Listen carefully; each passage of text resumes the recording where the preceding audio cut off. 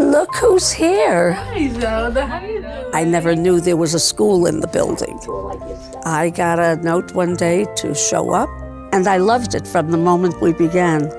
I like going to school inside of a nursing home because we learn a lot of stuff from the elderly. Going to school here is like going to school with my grandparents. It's awesome. It's very awesome.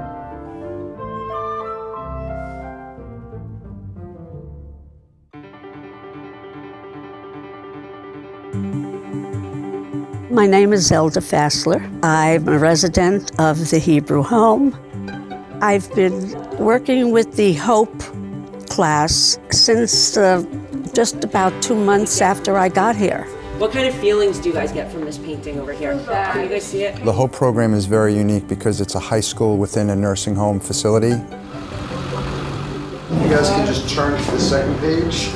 The Hope program is a vocational program that started back in the 90s that gives students with intellectual disabilities the opportunity to split their time between being in their different departments, their academic studies,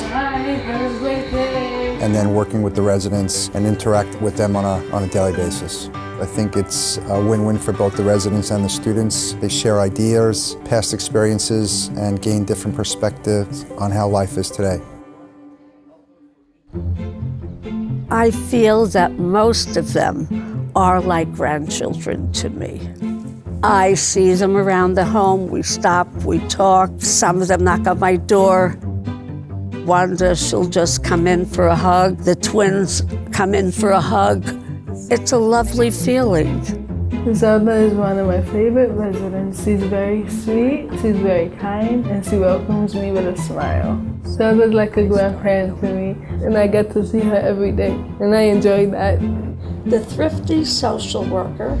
Zelda comes to class and we read together. We read like in a group. I learned so many things from her.